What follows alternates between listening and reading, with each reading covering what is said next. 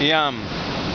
I'm eating Chef Boyardee's very nice spaghetti and meatballs in a uh, sandwich, really, in a roll.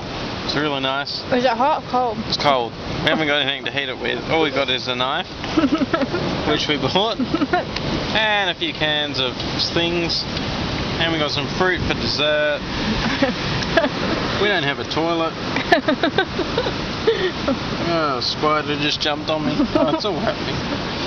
So we're going to be gross in a few days' time. But this is our view from our dinner table. Mm-mm-mm.